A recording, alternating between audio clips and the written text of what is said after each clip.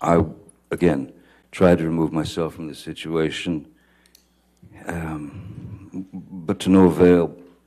As I, I, I literally, the house that they had rented for me in Australia was quite a large place. It was quite a bit of a labyrinth, you know, and a lot of rooms, a lot of extra rooms. So I would go to,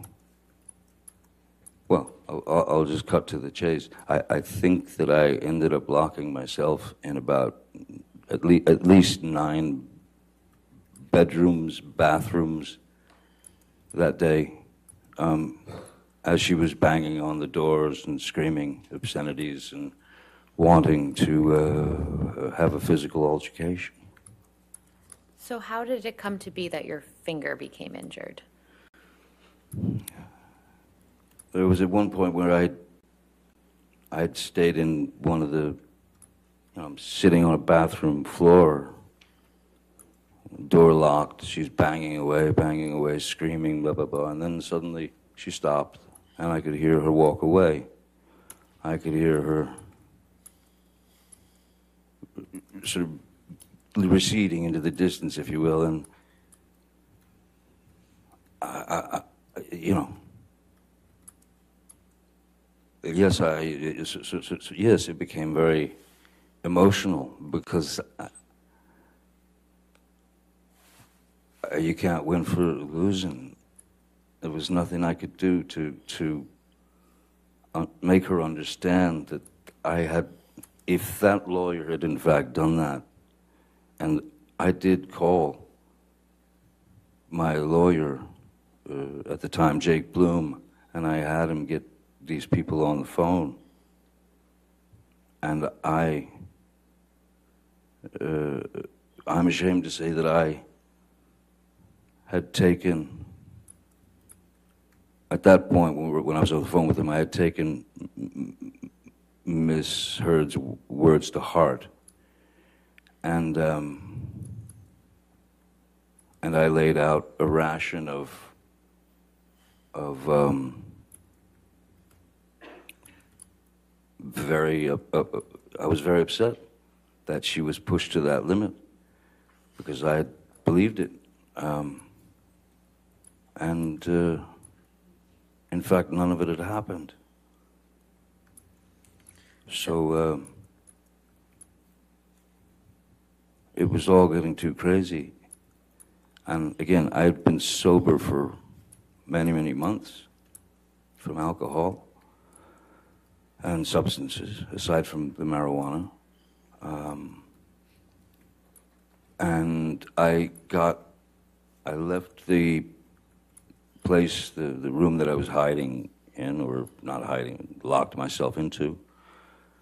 And I went downstairs in the house, there was, downstairs in the house, as soon as you walk in the house, you can go upstairs or downstairs. Downstairs, there was a sort of a rec, rec area, pool table and such.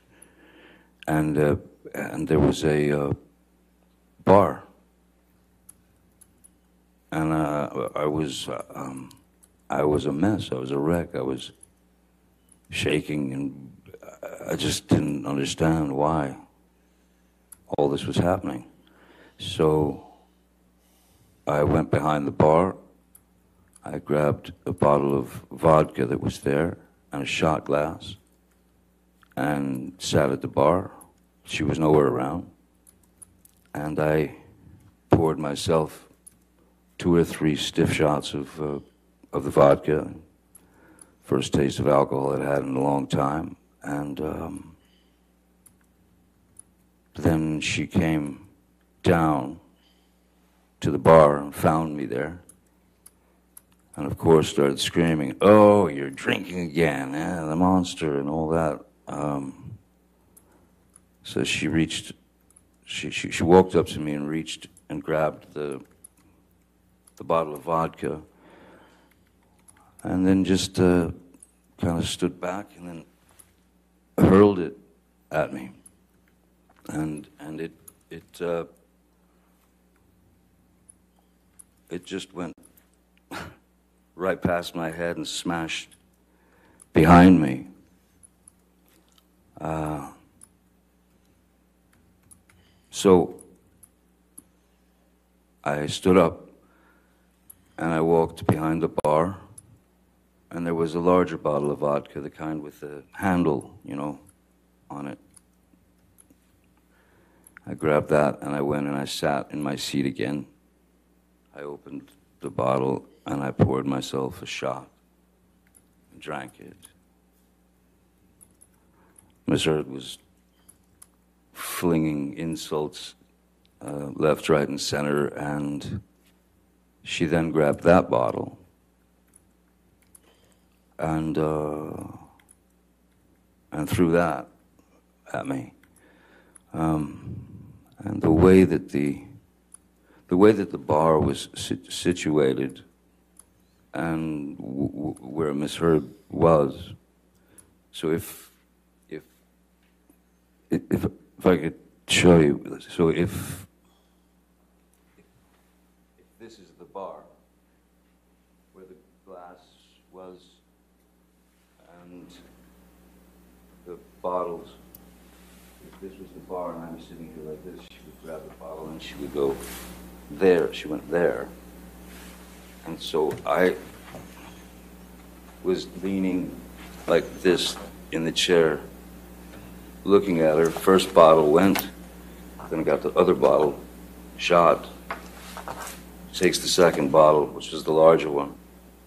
I'm in this position again, and my my hand is on the edge of the the bar, like like that, you know, leaning over the fingers, like that, and uh, she threw the large bottle, and it made contact and shattered uh, everywhere.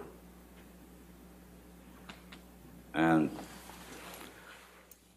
I- honestly didn't, I didn't feel the pain at first at all. I felt no pain whatsoever. What I felt was, um, I felt heat. I felt heat and I felt um, as if something were dripping down my hand, you know. Um, and then I looked down and realized that the the the tip of my finger had been severed, and uh, I was looking directly at my bones sticking out, and uh, the the the meaty portion of your the inside of your finger the um, and it was it, blood was just uh, pouring out. And at that point I, I, I, I think that I went into some sort of I, I don't know what a nervous breakdown feels like, but that's probably the closest that I've ever been. I didn't, nothing made sense. And I knew in my mind and in my heart, this is, this is not life. This is not life. No one should have to go through this.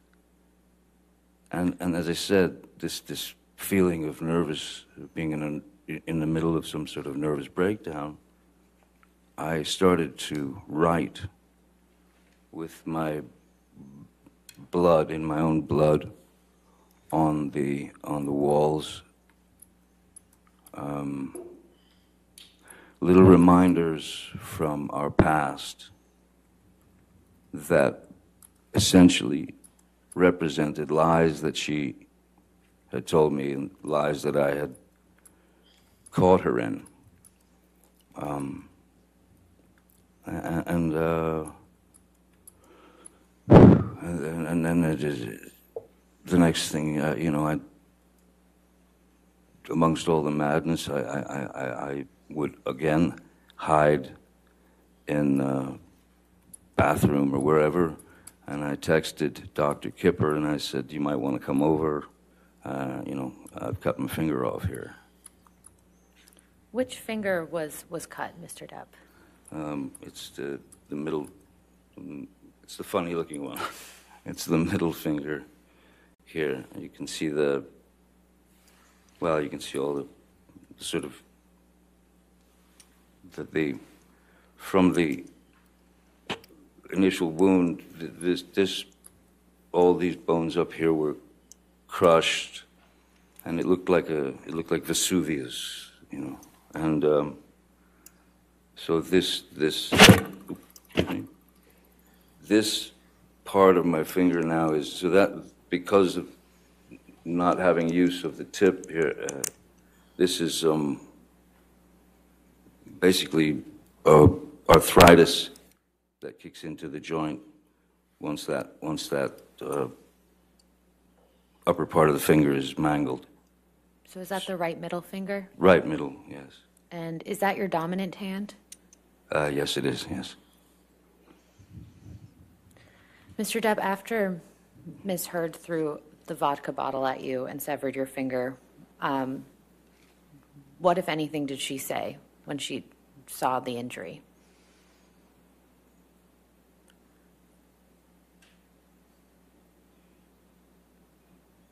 I don't recall anything but just, uh, it was almost like white noise, just someone yelling, just a, it was just a high-pitched, constant um, attack of, of insults, of, it was just jumbled words to me in, a- in a very high frequency, and I, I, I, I, I was in a bit of shock, you know. I was in shock. You mentioned that you reached out to Dr. Kipper. Did you receive medical attention after that?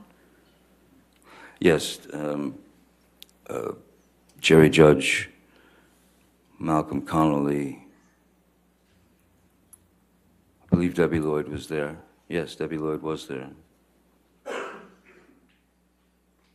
Um, Ben King had arrived as well. Who is Ben King?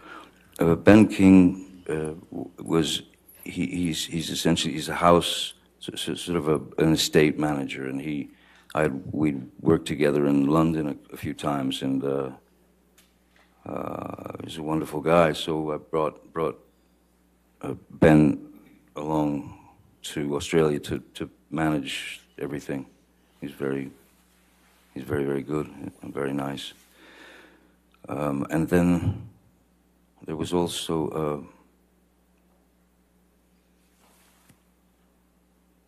oh yeah, I mentioned Malcolm and, and Jerry. Yeah, they were there as well. Which, if any, of the medical professionals that you saw that day did you tell what happened to your finger? I when Malcolm and um,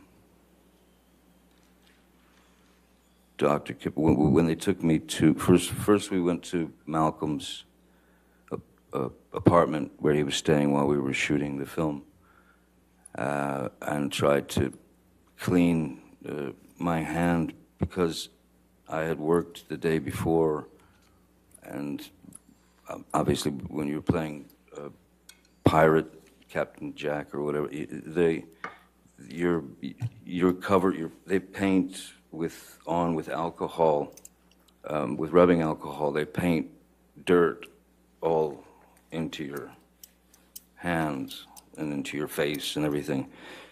So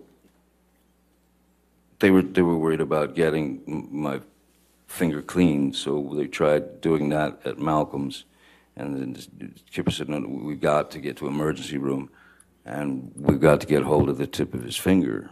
So we went to the emergency room. Um, the doctor asked me what happened, and uh, I lied to him. I said that I had uh, smashed it in, um, in, in these large accordion doors, that it got caught in the accordion doors. Why would you um, lie about that?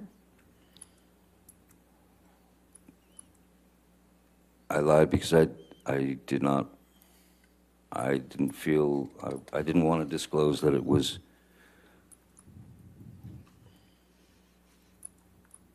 What it was. I, I didn't want to disclose that it had been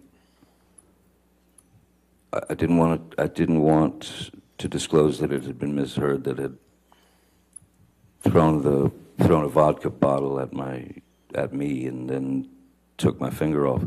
I didn't want to get her in trouble. I didn't want to. I, I tried to uh, just keep things as copacetic and as as easy as possible for everyone. I, I did I did not want to put her name in that in that mix. Did you tell Dr. Kipper what had actually? We're continuing to watch the Johnny Depp uh, defamation trial here. We're going to go to a quick two minute break here for some of you as Johnny Depp is talking about when he had to go to the emergency room after uh, what he says Amber Heard uh, throwing a bottle of vodka and then smashing right by his finger. You're watching live now from Fox. No, where was Miss Heard during this time? Ms. Heard uh, was. I, I wasn't there, but I, I had. A, it was clear that she had to. Uh, she needed to leave, and uh, I'd asked them to get her on a flight from Melbourne or Sydney or wherever back to Los Angeles. Why did you ask for that? I I didn't want to see her. I, I didn't I didn't want to see her. I didn't want to have any more arguments. I was, uh, for all intents and purposes, I was just done.